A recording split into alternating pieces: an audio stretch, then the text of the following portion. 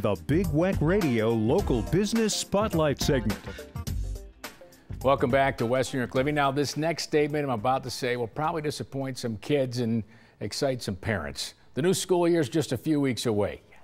All right, I'm just a messenger, but I'm also excited too. My next guest, though, here to make sure all students and parents understand that illegal obligations when it comes to a stop school bus. So happy to have with us once again here from Cellino Law, Stephen Ciocca. Stephen, good to see you. Good to see you too. Yeah, back to school time, always exciting. It is super exciting, especially if you got little kids. But those school buses are going to be back on the road here, and there are certain things we need to pay attention to. And there's there's a lot that goes on in the area of school buses, isn't it?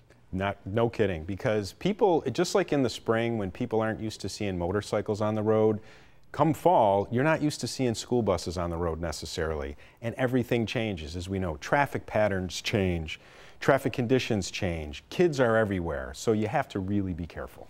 Let's talk about the flashing lights on the school bus. There's yellow, there's red. Um, what, when do I have to, I mean, the red obviously is a stop, the arm comes out there, but what about those yellow flashing lights? What does that mean? So here's the thing, a lot of people, when they see any flashing lights on a school bus, people are stopping. That's probably the safest thing to do, but with yellow flashing lights, it's kind of like yellow lights uh, with traffic signals. So it's really, you can continue past a school bus, but you have to proceed cautiously. Uh, just be aware, also yellow flashing lights are usually the indication that the bus is about to stop. So you're going to have red flashing lights coming shortly thereafter. So kind of get ready.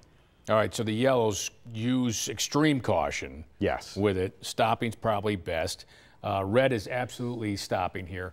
What's the, what's the distance we're supposed to have? So the, the law says you are supposed to, the first, the lead vehicle has to stop at least 20 feet away from a school bus, which is a fairly good distance. The purpose behind that is to allow the driver to get a good sight of the area because as we know, you never know where kids are going to be coming from. So that 20 feet is going to allow a driver to see the area, spot any children, spot any hazards, and act accordingly. Important, and I think this may seem like an obvious answer, but a good reminder. Both directions have to stop, correct? They do, and sometimes, you know, I've seen it myself where the people who are who come to a stop behind the school bus heading in the same direction, you see the people coming in the opposite direction, sometimes they'll start to creep closer and closer to the bus thinking, do I really have to stop because the bus is across the street? The answer to that is yes. You also have to stop at an intersecting street. So if a bus is there and there's a T intersection or a four-way intersection, every vehicle at that intersection has to come to a stop. Is it a crime to pass a school bus with the red flashing lights on? So it is and it isn't. So here's the thing. It's a, it's a vehicle and traffic infraction, but it's a vehicle and traffic infraction that can subject you to jail time. Mm. So that's the, that's the one thing that people don't realize. So your first infraction is a fine between 250 and $400 or and or 30 days in jail.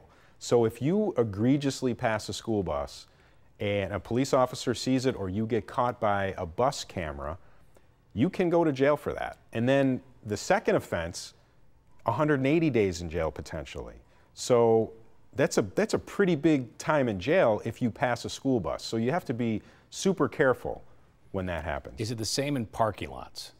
Yes. So that's the other thing too. Like people think, well, I'm in a parking lot. I don't have to stop for the school bus. I can just go around it. I can kind of swing. No.